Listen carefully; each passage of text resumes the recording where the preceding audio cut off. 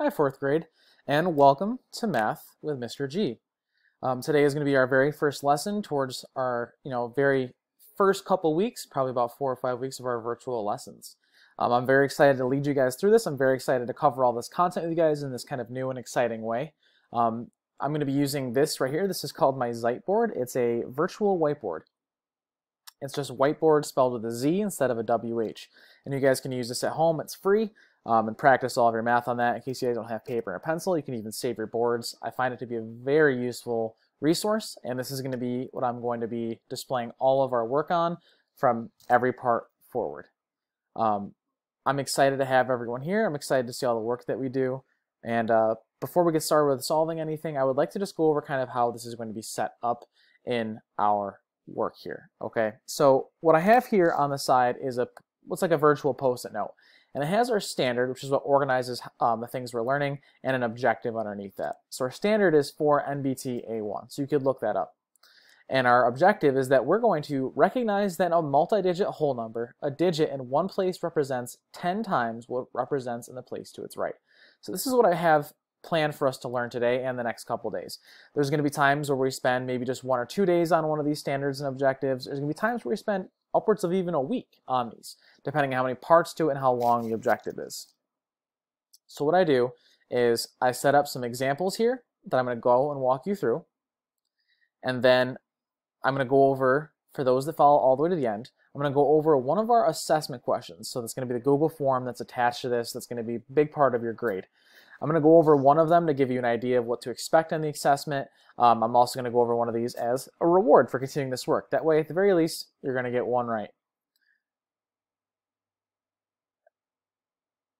Now, there might also be work attached to this as well, maybe a Zearn lesson or a you know virtual online lesson with your teacher. Um, but in terms of this, these videos are between somewhere between 8 and 15 minutes long, and it's going to cover quite a bit.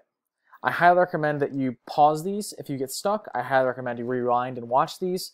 Um, as we get more and more complex throughout this, you're going to have to probably go back a couple weeks sometimes and watch it. Let's say, you know, we're going over multiplication and you forgot the individual steps for multiplication. You're going to go back and find that video.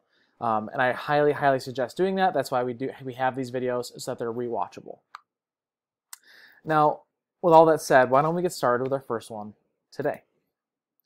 So it says here, as you did during the lesson, this is our lesson, we're going to label and represent the product or quotient by drawing discs on the place value chart.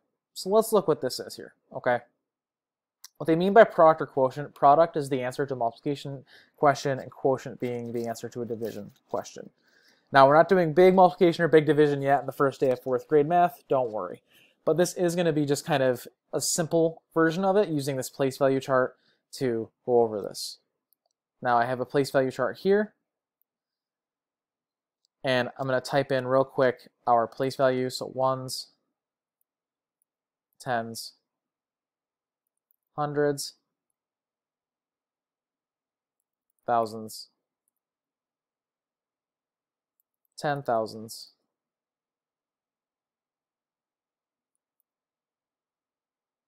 hundred thousand. I'm just going to abbreviate with an H. There we go. And then, of course, our millions. So we're gonna looking at we're gonna be looking at how if you have place value disks, how to bundle them, group them, move them over. And place value disks are just little circles that are on your place value represent numbers. So for instance, we have two thousands, right? So I'm gonna go my thousands column. I have now one, two little disks. That's what we have. We have two thousands. And I'm gonna multiply that times 10. And I'm gonna actually first do that on our little spot here. If I take 10 and I multiply it times 2, I actually have 20. And now I have 20,000. So let's duplicate that and show that here on this. So let's take our place value and let's do it like so. So now I have 2, 3, 4, 5, 6, 7, 8, 9, 10, 2, 3, four, five, six, seven, eight, nine, ten. Okay. So here's the deal. I can't have 20,000. So you're not actually supposed to have more than nine in a single place value spot. Okay. It gets moved over. And we're going to look at how we do that right now. So let's say I have this group right here. This is a group of 10, so I can circle it together. And this is a group of 10, so I can circle it together. And I'm going to move these over. Now when I move them over, I'm doing what's called bundling. I'm taking all 10 of these, and it gets put down into just one. Okay, so 10 thousands is equal to one 10,000.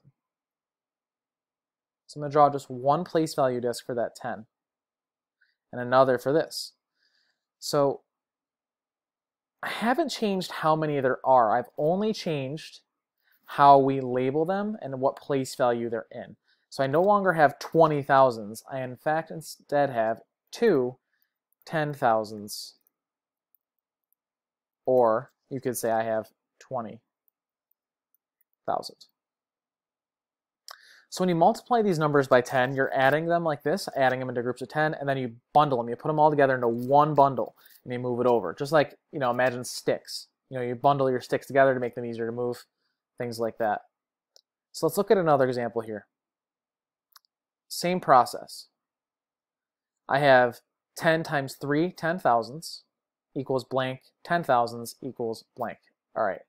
Before I do anything, I'm actually going to label my chart. It's a really good thing a really good habit, I'm sorry, to before you start solving anything or writing anything down, to label your chart. Staying organized is one of the most foundational parts of mathematics.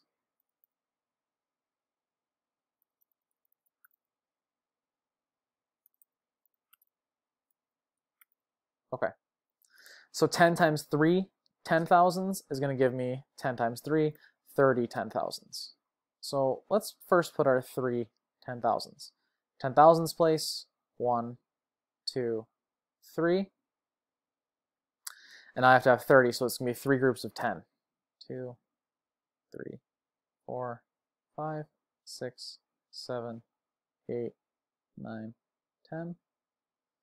Two, three, four, five, six, seven, eight, nine, ten. Two, three, four, five, six, seven, eight, nine, 10, 2, 3, 4, 5, 6, 7, 8, 9, 10. Great. Now, like I said in the previous question, we can't have more than 9 in a single place value. When there's 10, you have to bundle it and move it over, right? So I have, I did not want to do a circle. I'll make mistakes like that. I want to have all of these 10s bundled together. And you can't bundle more than a group of 10. I can't bundle all 30 of these into one group. Okay, you have to bundle each group of 10 and then move them over. I'm going to draw an arrows like this.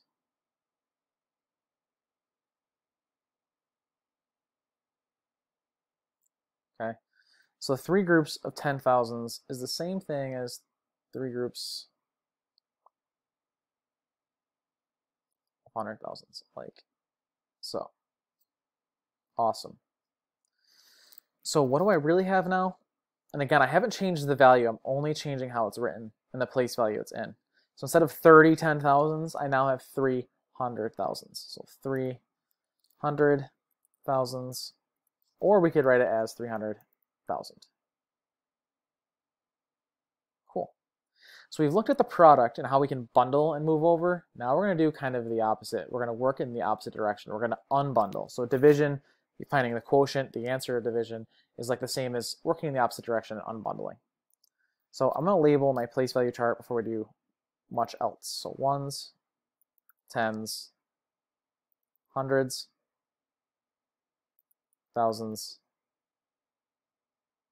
ten thousands, hundred thousands, and millions. Great. Okay, so what I'm going to be doing here is the division. So 4 thousands divided by 10 is the same thing as moving it over. So before we fill in up here, why don't we actually look at the place value chart first to better understand how we're going to fill in this top part. Because now that we're moving in the opposite direction, it can get a little confusing. So let's put my 4 thousands in. One, two, three, four.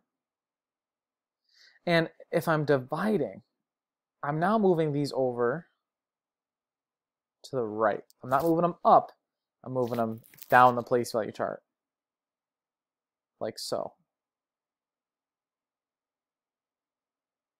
And I'm unbundling these into groups of 10.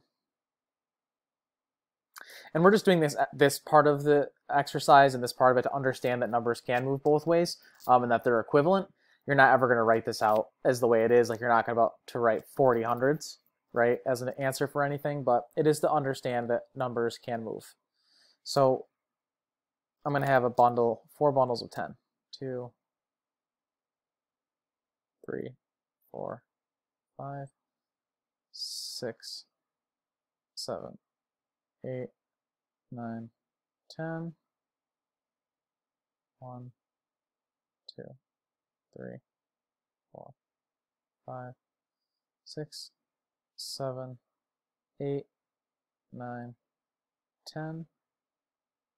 One, two, two. Come on. Two, three, four, five,